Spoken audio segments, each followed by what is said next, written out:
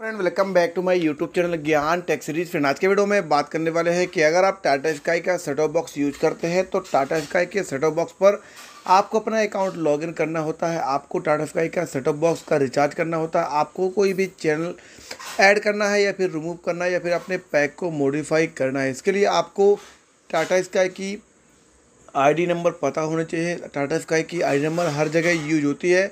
तो आज के इस वीडियो में बात करने वाले हैं कि टाटा स्काई की आईडी नंबर कैसे निकालेंगे, कैसे फाइंड करेंगे? बस आपसे रिक्वेस्ट है वीडियो को पूरा वॉच करें।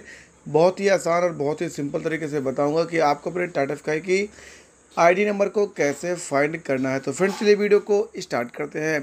टाटा स्काई की सब्सक्राइबर आईडी को फाइंड करने के लिए आपको अपने मोबाइल के डायल पैड पर जाना है। वहाँ पर आपको एक नंबर डायल करना है।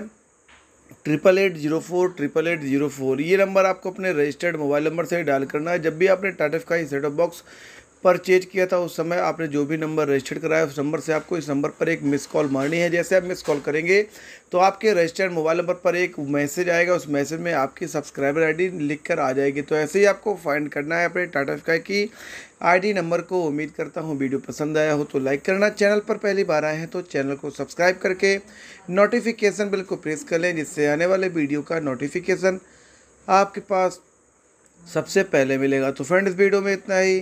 Thank you for watching. Take care.